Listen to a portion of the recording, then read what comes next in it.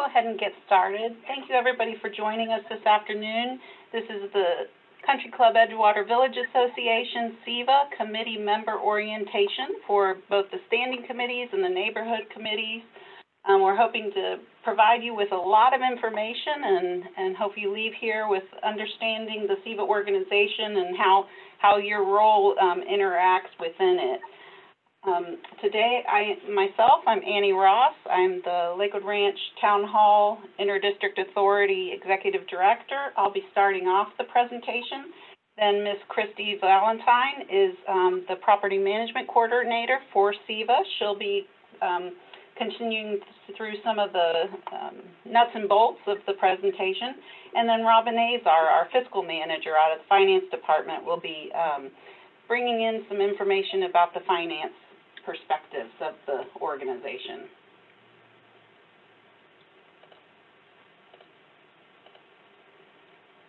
So this is just a brief, the topics that we'll cover. We'll cover a couple of things in the beginning that um, tend to kind of have residents stumbling over, just a couple of um, a couple of items that, that tend to cause some, some um, not frustration, but just some misunderstandings. Then we'll go into um, our management from Town Hall, the and the governing documents that are um, kind of give guidance to the CEVA organization, and then on through the committee roles, the the board members' roles, um, policy and guidances, and then um, at the very end we'll open do an open forum for your questions, answers, and any um, any information you want to also share with the with the group. The first item we wanted to kind of do a comparison for is the districts versus HOA. So the community development districts two and five also make up the same jurisdictional boundaries as the Country Club Edgewater Village Association HOA, Homeowners Association. So um, while the districts have a little different purpose than the HOA does. So the districts um, govern the public property, the common areas. They are a special purpose local government managed out of here at Town Hall, and they manage the infrastructure of the community, the roadways, signage, landscaping, um, the entryways your, for each of your of your neighborhoods, the monuments, um, all of the utilities, whether it be irrigation, stormwater, water and sewer in different cases with, depending on the districts. And the assessments for the district um, services that you receive as a homeowner are actually sent through the property tax bill. Those are um, on an annual basis sent around the, the November time, October, November timeframe. Whereas on the HOA side, it's really the HOA's jurisdiction is all the private property. We'd like to say kind of inside your property boundaries for the most part. Um, you know, the architectural landscape modifications you might want to make or the deed restrictions to make sure your neighbors in are, you know, keeping everything looking as aesthetically pleasing like we um, expect when we come into Lakewood Ranch. And there are some areas for the maintenance-free neighborhoods, um, MFNs, those neighborhood pools are actually governed by the HOA through the MFN. Um, we did a earlier did a presentation for the MFNs because they have some kind of specific um, things that they do, and we'll talk about a little comparison of the traditional neighborhood versus the MFN neighborhood in a moment. And the assessments for the HOAs come to you straight from the banking institution. You get an annual an annual assessment from CEVA for um, the services that CEVA does for the homeowners is done through a direct mail.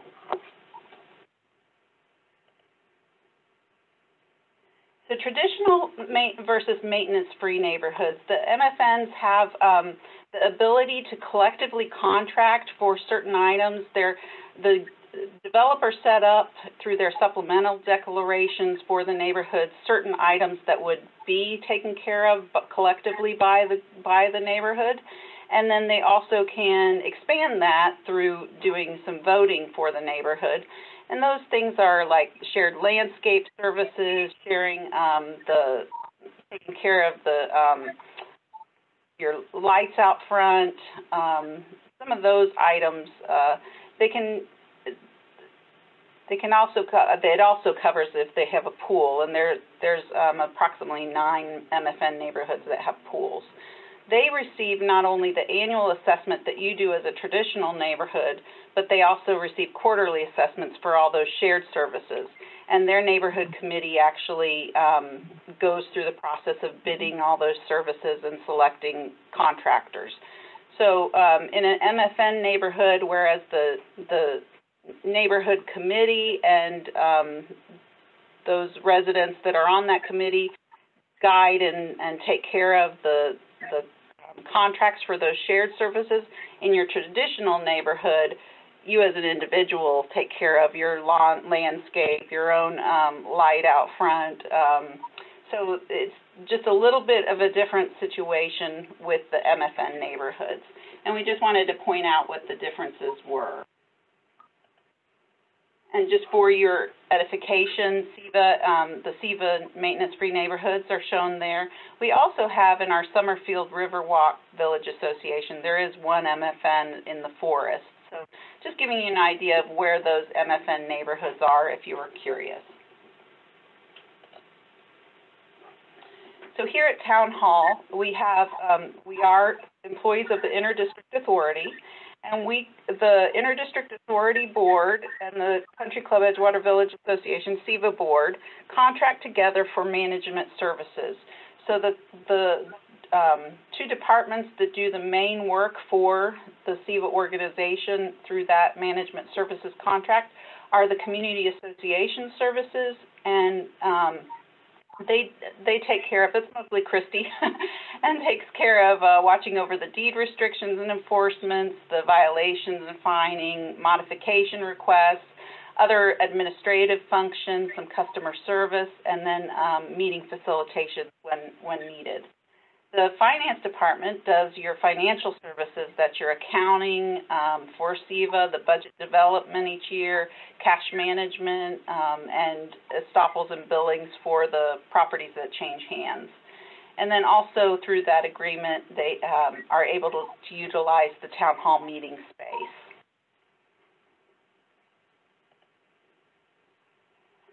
The backbone of the CEVA organization is your governing documents there's three major pieces to it: the declarations of Co declaration of covenants, the articles of incorporation, and then the bylaws. And each one of those um, kind of tackle a different aspect of the of the organization. Declaration of covenants establishes your standards, um, maintaining, governing, and funding your obligations and your more of your administrative frame, framework. Articles of incorporation was putting the purpose and power behind the organization, establishing the power of the board of directors. And then the bylaws covers um, the governing rules, um, the meeting responsibilities, the voting rights, and the powers and duties of the boards and all the committees. Then your rules and regulations are summarized in your homeowner's manual. Homeowner's manual. That's more of an abbreviation of all the governing documents. So um, if there's anything that's at question, uh, you go back to those governing documents to make sure um, that you're covering what you need as far as a vote or um, how, how you're utilizing the powers that be. So um, we'll talk more about the homeowner's manual and how it's put together when Christy um, talks about it later in the presentation. And with that, I will bring up Christy Valentine. She's going to get into a lot of the nuts and bolts of the organization. Thanks, Annie. Oh, excuse me. Uh, this is Christy Valentine, and I am your property management coordinator.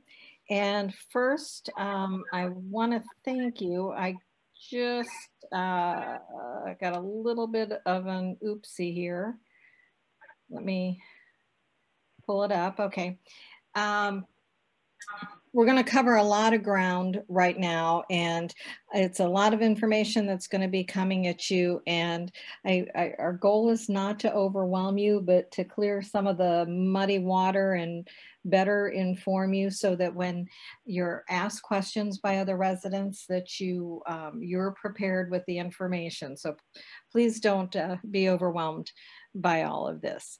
Uh, what you're looking at is a CEVA organization.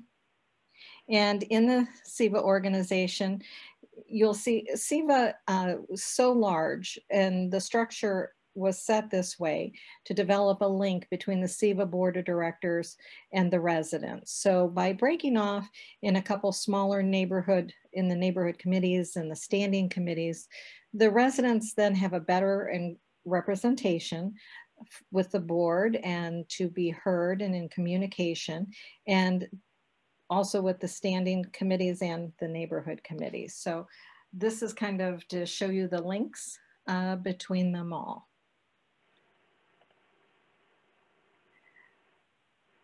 You have your board of directors, which you have five members on your board of directors. And we have here, you have your president, who's your chief executive officer, who is Mike Miller. You have the vice president, um, and he exercises any powers and duties uh, for the president when he's needed, and that's Ron Steffen. The treasurer who monitors the financial activities and assists the finance department in the budget development, and that is Chris Gerard. Uh, Art Tabor is your secretary, and he reviews the minutes and he um, executes any association documents as they're needed and that to be signed. And then there is a director who is Don Diven. Christy, if I could jump in, I'm sorry to mm -hmm. jump in. I, I, forgot to introduce that Ms. Gerard, Mr. Tabor, and Mr. Miller are on the line um, for the presentation.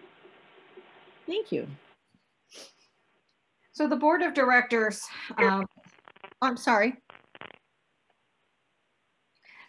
Uh, they they do a lot. They're involved in a lot. Um, a lot goes on behind the scenes that uh, many people don't know, but their main focus is to maintain the integrity of the governing documents. They manage all the affairs and act in the best interest of the association and the community. And they do have a fiduciary responsibility. They set the standards and they manage the expenses. They work uh, directly with the finance department. They conduct and um, open and fair meetings for all residents who are able to um, attend board meetings. They are board meetings are open to all residents, whether you're on a neighborhood committee or not, or a standing committee. They create an environment, especially for open communication with residents, and they coordinate and communicate with the IDA about issues that come up. And next.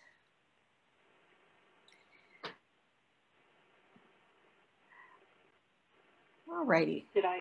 Sorry, no, you're, I you're, you're, you're, pardon me? No, you're fine. You're fine. Uh, so the neighborhood committee and representatives, each neighborhood has seven members that consist of a chairperson, a voting member, an alternate voting member, standing committee representatives. And then some neighborhoods have branched out and they have someone um, who does social and communication. There are a lot of neighborhood get-togethers um, and they sometimes uh, residents who live in the neighborhood who are pretty tech savvy will take on communication for the neighborhood. Some neighborhoods have a secretary who assists um, the neighborhood chairperson and takes the minutes from the meetings and turns those in. And in maintenance-free neighborhoods, uh, they may have an irrigation and a pool uh, committee person who uh, maintains communication and takes care of um, that end of the spectrum for maintenance-free neighborhoods. So each fall, as I'm sure you remember, the election process starts and nominations are sent to all individual residents in each neighborhood. Those nominations are put on the ballot and again sent out to each resident. Seven nominees with the highest amount of votes are tallied and this becomes your uh, neighborhood representatives. Then the neighborhood representatives that were voted in they meet and they divvy up responsibilities. So it's, important to understand too that the neighborhood committee is not a board. There's only one board and only one board of directors, and that's the CEVA board of directors. And it's important to educate your neighborhood of this, as many times neighborhoods will uh, consider their neighborhood representatives are their board and this can become very confusing, especially when it comes to rules and regulations. So it's something that is important to uh, lessen that confusion on. And all members um, of the neighborhood committee and standing committees um, must be a neighbor in good standing and they must adhere to the code of conduct. And at the end of this uh, presentation, we will have links where you can uh, get copies of those so you can see those. So once the committee establishes who's going to do what, then that list goes to the CEVA Board of Directors for approval. Anytime anyone changes a position, whether they're added or they leave, um, I must be notified again so that we can send to the board for approval with any replacements um, that come on board. And a resident uh, can be on the neighborhood committee, but not serve on a standing committee. That's important to know. We strongly, strongly suggest that they do to ensure your neighborhood is well represented, but it's uh, but there it's not required. So why is it important to have a neighborhood chairperson in the committee? It's uh, because they're your, your conduit between the resident and the board and the board and the residents. The neighborhood chair is responsible for ensuring there's at least one neighborhood meeting a year and that it's noticed correctly to all residents in the neighborhood. All residents are, well, are welcome to attend any neighborhood committee meetings. And neighborhood committees can have as many meetings a year as needed or as they feel necessary, as long as they're noticed correctly. Um, all neighborhood meetings must be posted and noticed to all residents at least a minimum 48 hours in advance. But to be on the safe side, you want to give everyone several weeks notice so that they can um, make the commitment and work it into their schedules. The meetings can be held wherever you feel it's comfortable and you can accommodate everyone. So there are many uh, of the neighborhood, the maintenance free neighborhoods have them at their pool. Uh, some neighborhoods have them in their homes. You're always welcome to schedule a meeting at town hall and contact the front desk and they'll set that up for you.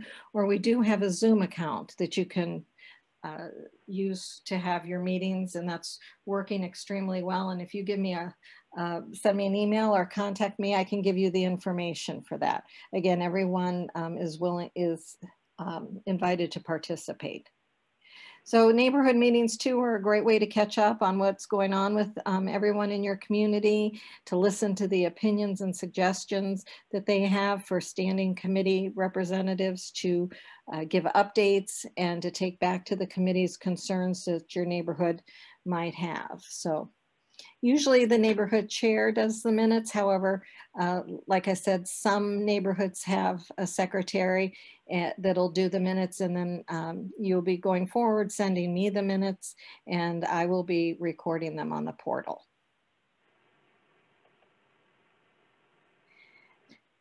Neighborhood communication is extremely important and it's one of the most important um, avenues we have to reach out to all residents. So we will be having, um, if you need an updated contact list for the residents in your neighborhood, if you contact me, we will send the list to you. Um, however, our list may not be as current as your list. Many residents uh, really don't want to keep us informed of their email addresses and phone numbers. We might be pretty far down on the list of people they remember to contact when making those changes, but residents uh, in neighborhoods do want to hear from their neighbors. Uh, sending the minutes to all of the residents in the neighborhood is a great way to let them know what's going on in your neighborhood, but it also reminds them that there are neighborhood meetings and that they can attend. And it's okay to have more than one meeting a year. If things are coming up in the community and you're attending uh, board meetings and hearing um, things from different committees and that that you feel need to go back to the residents, you're more than welcome to have more than one meeting. We have several uh, neighborhoods that have meetings every month. And again, you can use the town hall facilities for that if you'd like. Uh, there are neighborhoods who send out uh, great newsletters and they and welcome letters to neighborhood uh, new residents as well, letting them know what's going on in their neighborhood and who they should contact. And email blasts uh, out to your the residents in your neighborhood is also too a great way to keep everybody in communication. And again, like some, some neighborhoods do have communication representatives, which is, um, and, and they put that all through them so that they can keep up to date. And we don't want to forget the ever popular social cocktail gatherings where you can meet new residents and catch up with familiar faces. Um, it, that's a, a, great vehicle, but communication is, is crucial in your neighborhoods. It's also a great way to recruit new volunteers. And we have had many this year. And um, I think that's because we've had so many more uh, residents who have been uh, communicating with other residents in the neighborhood. We also have on the lakewoodranchgov.org website, each neighborhood does have a page on it. And we are working on uh, kind of a template that we will send you and you can put as much information as you would like on it, um, stating who is your, are your neighborhood representatives. Um, an MFN can put what they uh, offer in amenities. You can put on there what you offer in amenities. We need to keep in mind on this website that this is a public website. So not only is it seen by residents, but it is also by potential homeowners that are looking uh, to move into Country Club in Edgewater. And this will give them kind of the, the advantage of seeing your neighborhood and what it reflects.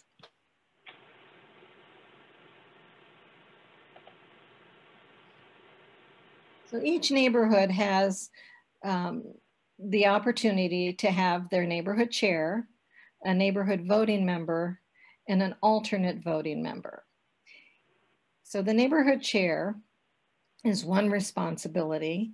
A voting member is another responsibility and the alternate voting member is another responsibility. So there are three positions here. Most neighborhoods, their neighborhood chair is also their voting member, but it doesn't have to be. Again, you can have three different people doing each job. And it's important to have a voting member to ensure your neighborhood is well represented when votes come up.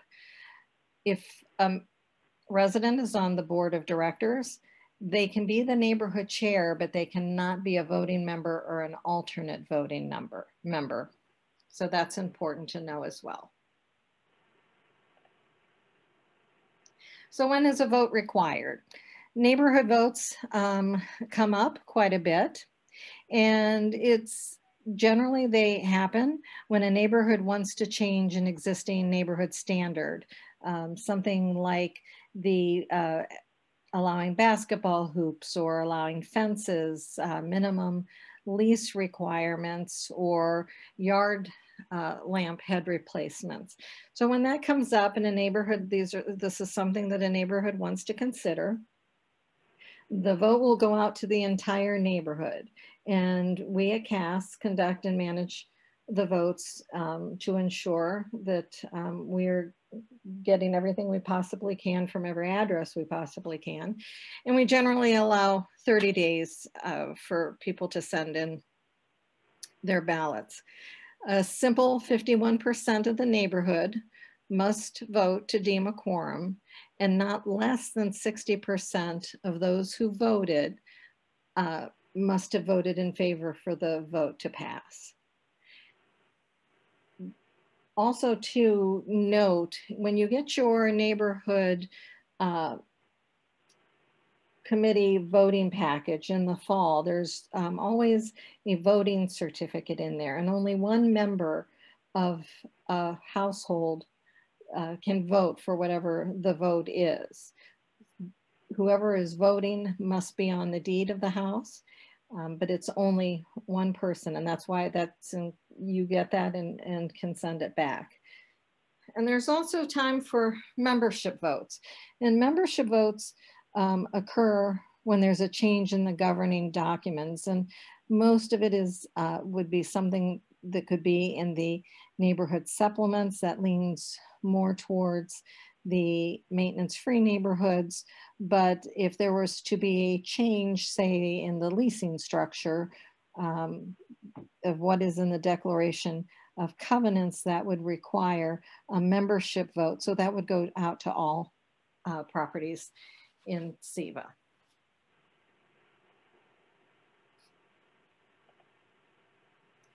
So standing committees.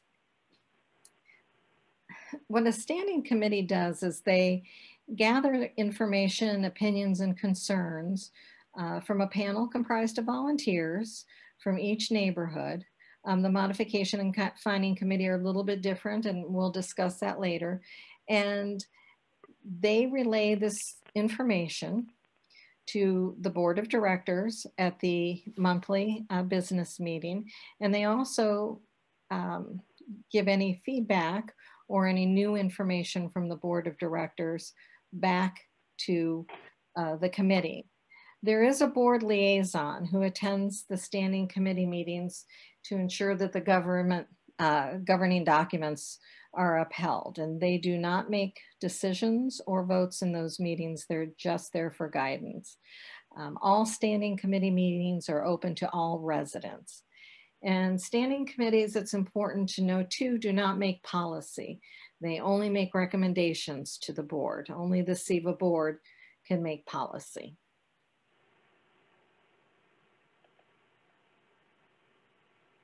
The modification is a standing committee. And if you can think back and remember on the form that was filled out with, um, with the different um, standing committees you could be on, the modification committee is not on there. And that's because it's uh, a little bit different than the other standing committees. There are two separate um, modification committees. One is for Country Club and one is for Edgewater. And on each of these committees, um, I have on there who the chairperson is and who the board liaison is so that if you, um, you'll get a copy of this and you can always go back and you can, um, so that you can have that information. So these individuals on the modification committee are board appointed. And there's a criteria on how uh, you can be on the panel and how many members can be on the panel. Uh, to They have to have a quorum in order to have a meeting. And um, so it's, it's a big um, a commitment for someone to make. So to be a panel member on the modification committee, first there has to be an opening. And then the person would need to attend at least three or four meetings as a guest.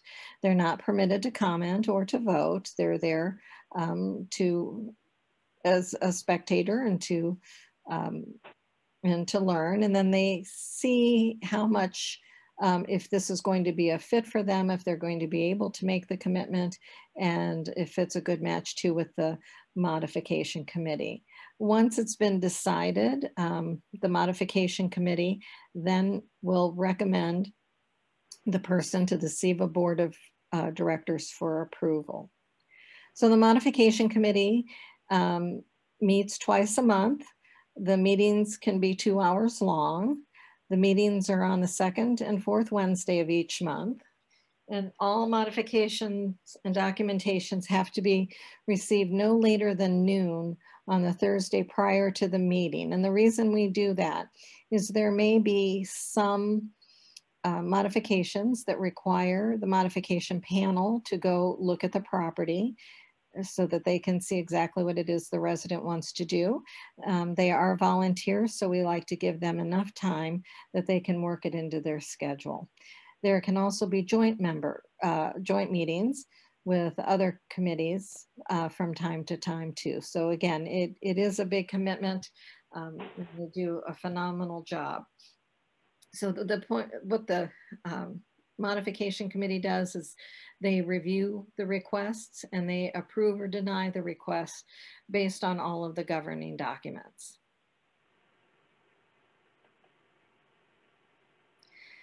The fining committee is a little bit different too, although it does, um, the panel consists of one member from each neighborhood and their sole purpose of the fining committee is to review violations that have not been brought into compliance, listen to the historical details of the violation and confirm or deny the fine amounts previously approved by the board of directors if a violation occurred within the CEVA governance.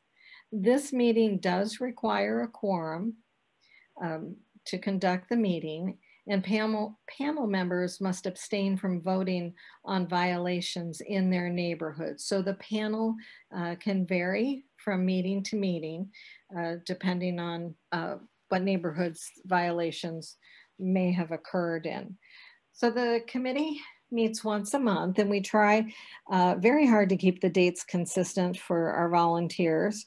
So it may be uh, one year we may try to keep it as to the, like the third Thursday of each month, but it can vary due to legal stipulations with the governance and the Florida statute. So it's not always the same as some other committees when you know exactly what date it's going to be on. The landscape committee, again, there's one member per neighborhood and the meeting is highly attended and, and it's great information uh, for you and your and your neighborhood and they work closely with the CDD2 and CDD5 and they discuss and make recommendations in regards to landscaping and landscape maintenance and they research many topics to ensure the community is updated on the latest issues or changing trends to maintain the integrity of the community. They bring this information then back um, to the modification committee at times and to the restriction uh, revision committee uh, for opinions and su suggestions. They work very closely. The chairperson does attend the monthly um, board of directors meeting and they give an update of what's go going on. So the committee generally meets um, every other month and with a few months off in the summer.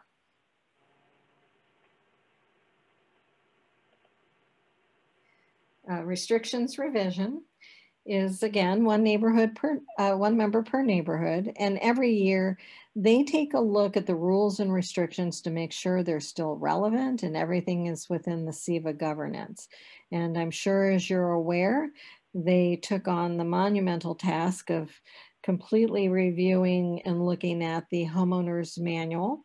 Um, it took well over a, a year, but they, um, they reviewed every word and tied it back to the governing documents. Um, they, it was a, a monumental commitment and they did a fantastic job and and I think it's we've had a lot of compliments on how much easier it is for the um, residents to field their way through and uh, just a fantastic job. They also to work very close with all of the committees. So they get opinions and suggestions.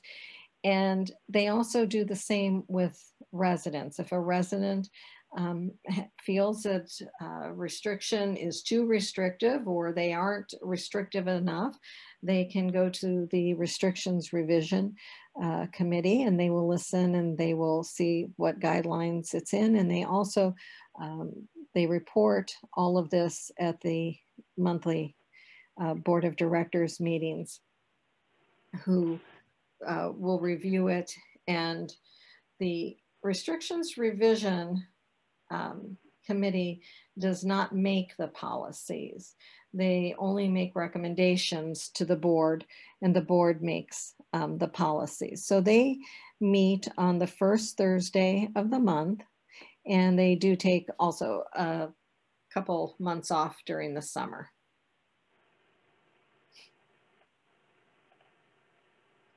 And the safety committee, uh, one member from each neighborhood the committee meets and discusses safety issues within the community and the surrounding areas.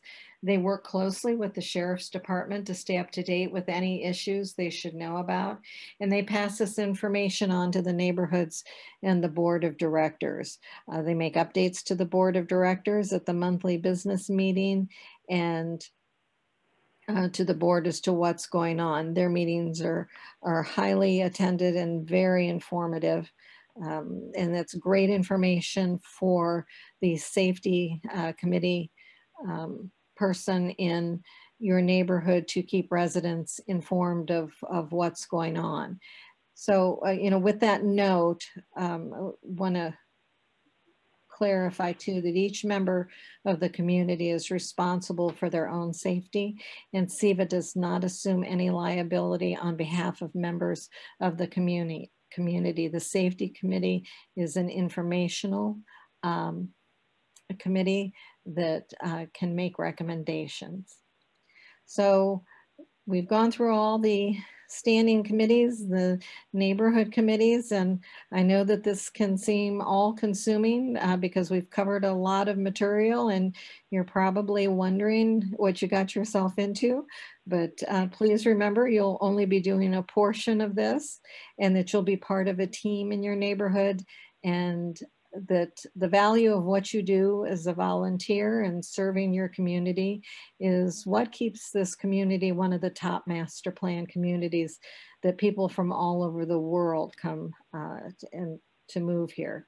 So now I'll turn it, the meeting over to Robin Azar from the Finance Department.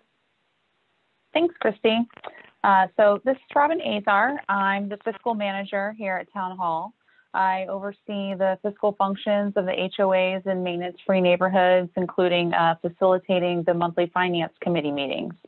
Uh, our chair is Gail Cole, and our board liaison is Chris Gerard, uh, treasurer of the CEVA Board of Director, Directors. And uh, just as the other committees, Finance Committee is made up of uh, one member, uh, the finance representative of the individual neighborhoods, and while members uh, from traditional neighborhoods are more than welcome to attend our monthly meetings, the topics and work involved mainly pertain to the maintenance-free neighborhoods. Uh, we cover various topics such as, you know, reserve replacement schedules, or we could be reviewing current policies and making subsequent recommendations to the board. So next, I'm just going to give a brief overview of our um, budget development process. Uh, and I'll start by uh, noting the differences between the HOAs and the uh, district and IDA budgets uh, schedules. The HOAs operate on a calendar year structure, January to December, while the IDA and the uh, community development districts operate on a fiscal year. And that runs from every October to the end of September. Because of that timing difference, uh, CEVA begins to work alongside the IDA very early every calendar year as the IDA starts to develop its budget to determine the management fees that will be set for the following calendar year. Uh, we then kick off the budget development process for the maintenance-free neighborhoods at the June Finance Committee meeting. We give committee members the month of July to complete their budgets for their neighborhoods, and then those are reviewed by the Finance Department. And then the committee comes back in August and reviews the completed, completed budgets and then provides recommendation to the board of directors for approval at their uh, September board meeting. From those finalized budgets, we then send out the annual and quarterly assessment notices that you receive every year shortly after uh, Thanksgiving. So that's really the, the, the short version of our, of our finance committee for traditional neighborhoods. And as Christy said, we're that throwing a lot of information for at, at you. And so if you didn't write it all down or you didn't get it from this presentation, we do have a couple of websites where you can find additional information. Uh, our first website is our public website, and you'll find information here pertaining to both the uh, HOAs and the districts. It's a high level uh, community information, and there's links to things such as our community calendar, which uh, is going to show events occurring uh, at Town Hall and any of our parks. uh, you can access our online reservation system uh, or find any general details about the community, such as who the current board members are, committee members, or high-level description of services that are provided within a particular neighborhood. The second website is our private homeowners portal, and only current residents of CEVA, Serva, or Greenbrook have access to this site, and a login with an account number and password is required. Homeowners can view uh, account-specific details here, such as transactions or violation details. They can make payments or complete various other functions through the use of web forms, such as respond to a violation or submit a modification request. Neighborhood and standing committee members also have additional permissions here that grant them access to committee-specific information, which could include policies or guiding documents, agendas and minutes to your meetings, financial statements to your for your neighborhoods, or links to the current agreements for shared services within a neighborhood. Um, you, if you have any trouble accessing any of the information within the homeowners portal, please email me directly and I'll work with you to make sure that we get you what, what you're looking for. So if you're not able to find the information that you're looking for, this is kind of a, a, a who do I contact? Anything financial related, financial statements, budgets, contracts, homeowner portal related, you can contact me. Um, we also have some additional finance staff that service the HOAs. Brittany Schmel processes our um, HOA payments and uh, handles our homeowner account inquiries. And then Debbie Baugh handles, uh, processes all of our vendor payments. Um, anything deed restriction, violation, leases, modifications, or board meeting related, you would contact your property management coordinator, Christy Valentine. Uh, if you're having, if you're seeing any issues regarding the common areas, uh, then you would contact our operations office. And then any other items, you can either contact town hall or when in doubt, contact Christy. Our last slide shows some um, policies and procedures and guiding documents that we are going to be including when we distribute this uh, presentation to the committee members. Um, so the first four are specific to um, serving on a committee, code of conduct, being a resident good standing, standing committee policy. And the last two are kind of finance related. So we have the HOA and MFN general fiscal policies and procedures. And this gives uh, an overview of it, kind of like a start to finish in the finance process. You know, we go, it runs through the budget development process and also um, guidelines on um, vendor payments and approval processes. And then uh, I'll also provide a quick overview of the budget development process. Pretty much kind of what I went through here, just kind of a timeline from, from start to uh, finalization. So I think the next portion of our uh, program is uh, the open forum or information share. So I'm going to turn this back over to Annie.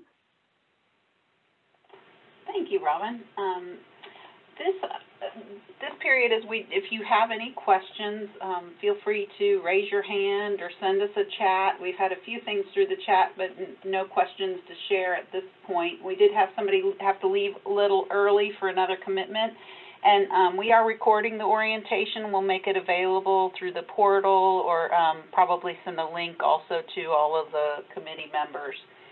But right now, I just welcome any questions. Um, Mr. Miller had had uh, volunteered to start us off because he wanted to just cover a few things about um, about CEVA and um, some questions he had. Okay. Uh, thank you, Annie. the uh, uh, I'd like to expand a little bit on on the subject of communications. Uh, Christy talked a bit about the things that we do to try to communicate well and, and, and communicate actively out to our committees as well as homeowners. And the, uh, you know, we, I think we all generally try to think that no news is good news. Uh, but at the same time, uh, you know, it's very common in our board meetings that, that we are talking all the time about, you know, are we, are we doing enough? Are, are we in touch with the homeowners? Are we in touch with our committees? and you always kind of worry about, um, you know, whether whether we are and are we uh, adequately representing uh, the issues and the and the considerations that all of our constituents have. Um, this is a pretty big community. There's about 2,800 of us uh, here in CEVA. So uh, the uh, this week, this month's meetings, we're going to be talking again about potentially doing some form of a homeowner survey. Uh, for those of you that have been around a while or, or, or are new, uh, you might know that, you know, we've been here as an organization for about 20 years, maybe just over that. And yet in that period of time, there's actually never been uh, a homeowner survey to, to, uh, to, to, try to take an overall temperature of the you know, CEVA resident population. So we're thinking a lot about it. Um, probably the biggest hurdle that we're very worried about is, of course, very few people respond, right? You do surveys and you know, typical response rate is really low. So if we if we try to do one, um, you know, will we will we will that really uh, achieve the outreach that we're looking for? So in that context, I'd like to kind of uh, put everyone, you know, make, put it out to everybody on this call. Uh, as members of our neighborhood committees, as leaders of our neighborhood committees, I'd ask you to help us think about it. Uh, and think about how the neighborhood committees might help us, right? There, we could, we could potentially approach uh, trying to do some more outreach at several levels. We could think about doing some form of, of um, homeowner survey. We could think about re, you know, doing some outreach through the neighborhood committees to, as, an, as another or as a supplemental vehicle to try to be sure that we're listening to our homeowners. So, uh, as I said, it's, it's, it's, an, it's been an active discussion. We're going to be talking about it more in this month's CEVA board meetings. Uh, and, I, and I invite all of you to help us think it through um, and, and kind of be alert that um, I, I, think it's pretty likely we will be doing more outreach. Um, the, the neighborhood committees are a great vehicle to try to help us in doing some outreach, just to be sure that um, we're asking what's on everyone's minds. We're asking how people feel about the services that they they get from the HOA, how they feel about um, everything from the new homeowners manual to the modifications process to you know the state of our restrictions uh, you know all, all the topical uh, items so uh, that's that's really what I wanted to just kind of add to the point of communication. We're definitely trying to think about how do we do the best outreach and, and invite you to participate. Annie? Thank you, Mike. Um, I actually don't have anybody that has raised their hands or um, put everything into the, the chat. So if anybody does have a question, if we weren't, oh, Mr. Keene, let me, you should be able to unmute yourself now. Uh, thank you. I was just wondering if uh, there will be hard copies of this presentation available uh, to, to share um, with our neighbors. Yes, we'll both make uh, hard copies of the presentation in a PDF format that you'd be able to email out, and then also we'll have a link where, if they would want it at the le leisure, watch the video. Okay, thank you.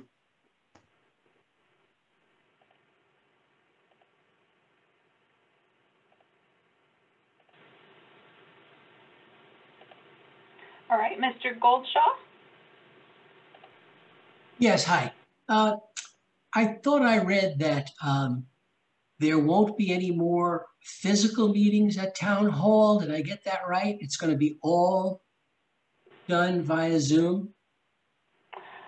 Um, actually, we've, we've, CEVA itself has been having um, in-person meetings. We've been doing a hybrid for quite a while. The, most of the board members come to here to town hall.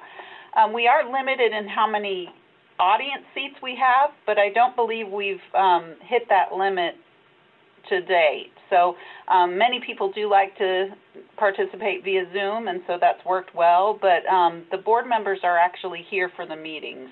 Okay, so yeah, I, and I wanted to make sure I had it right because I've gone to the meetings physically at town hall, and I've been also Zooming. Uh, but mm-hmm. um, I thought I, I, I read this note and I thought they were trying to say, we're not going to allow, you know, people to be there physically, but that's not the case. So I'm glad, so I can attend. I, I've noticed there's always plenty of room when you, when you go to town hall, it's spaced out and just, you get so much more from those meetings. And I would also mention that uh, for the purposes of um, general information, when you are having those even board meetings, uh, while I've been zooming on them, um, very often people forget to speak into the mic and you really lose a lot of the feel for the meeting, which is why I go to the meeting. you know, you really, people aren't speaking up. Uh, you can't hear a lot of the, the sidebar conversations, you can't hear at all. So you miss the feel of what's really happening. So um, whatever people can do to, to go into the mic would be very helpful for overall communication.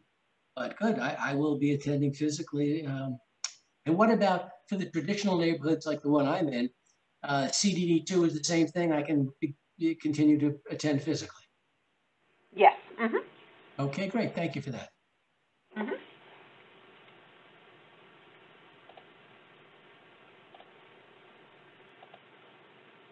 Okay, I don't see anybody else. Is there, um, anybody else that might have a question?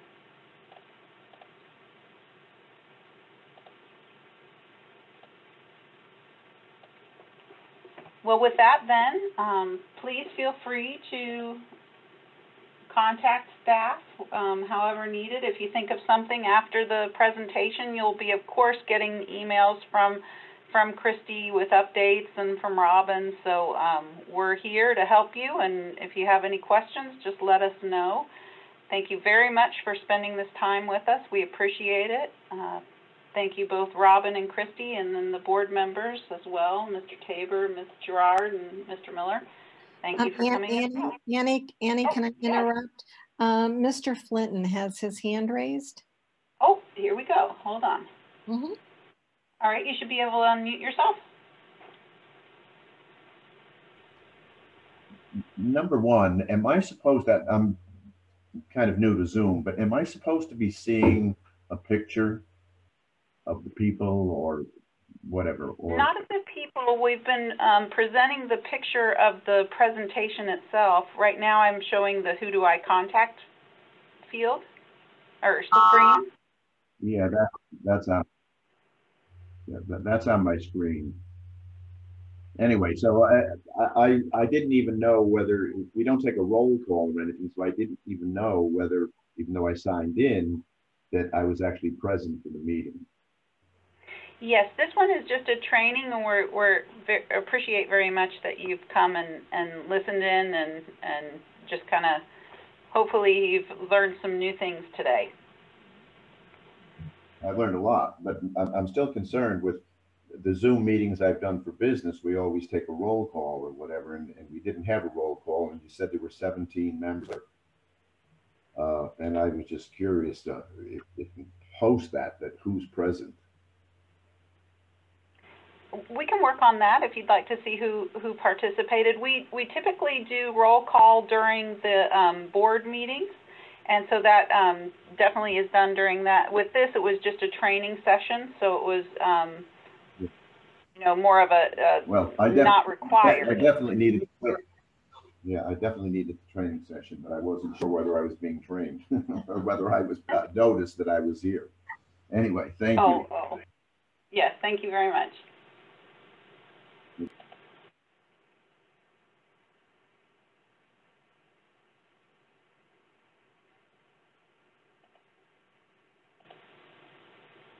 Okay, any, if anybody else doesn't have anything, once again, feel free to reach out to us and thank you for being a part of the presentation. Have a wonderful day.